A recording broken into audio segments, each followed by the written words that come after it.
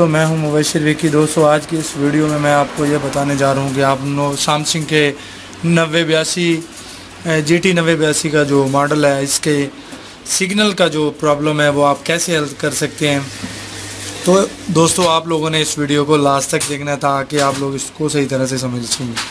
उसके बाद दोस्तों, जिस जिन लोगों ने मेरा चैनल अभी तक सब्सक्राइब नहीं किया, वो जल्दी से इस चैनल को सब्सक्राइब कर लें, क्योंकि इस चैनल पे अब जो नई आने वाली जो वीडियोस होंगी वो बहुत ही आप लोगों के लिए फ़ायदेमंद होगी ताकि आप उस वीडियो को देख के आप अपना वर्क जो है वो आसानी से हल कर सकें। तो दोस्तों, आप लोगों का ज़्यादा टाइम वेस्ट नहीं करेंगे। वीडियो को स्टार्ट करते हैं और वीडियो को लास्ट लास्ट तक आप लोगों ने लाजमी देखना है।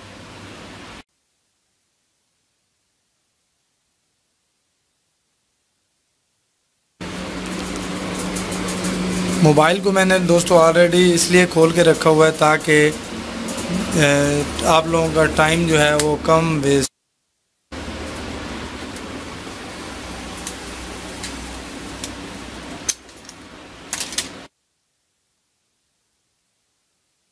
को ये बता दूँ, इस वीडियो में दोस्तों मैंने सिर्फ़ जस्ट इतना ही वर्क किया है कि इधर कोयल खड़ी थी, उसको मैंने रिमूव करके इसके नीचे से जंपर डायरेक्ट ये जीनर्स डायोड जितने भी थे, सब मैंने रजिस्टर्स उड़ा दिए कंपोनेंट्स वगैरह।